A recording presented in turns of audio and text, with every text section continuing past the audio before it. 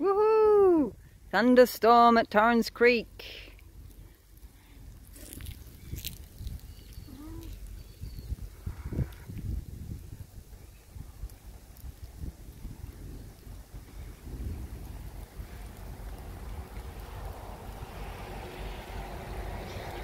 leaves were absolutely gone. All the pods, seed pods fell on the ground.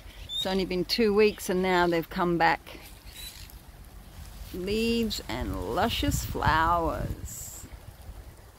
You're gonna love this rain, my lovely rain trees.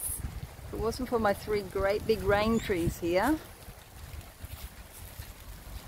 I wouldn't have any shade under the caravan.